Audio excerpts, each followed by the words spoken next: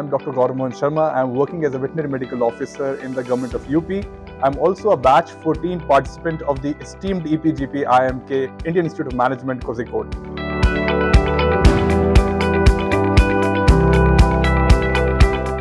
My learning experience has been completely transformative. It's only in IIMK that you see the sheer diversity, right from the army officials to the industry leaders.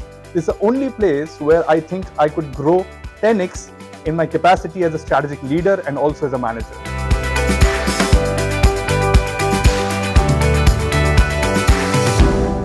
Peer-to-peer learning coupled with the incredible professors that we have here.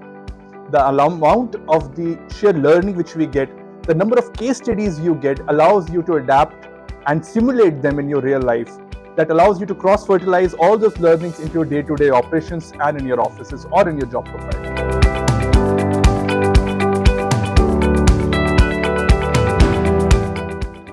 Has tremendously impacted my, my personal life. I have started seeing everything from all the theories which are being taught us by our professors and I've tried to apply it to my day-to-day operations in my office. For, uh, let me give an example. Uh, somehow I learned this thing that the important part of being the leader is to ability to manage risks and to guide the strategy. Strategy is all about risk management and all the tools and the methods that you learn to build a, or craft a very good strategy are being taught in this program. So I think it's absolutely transformative and radically developmental.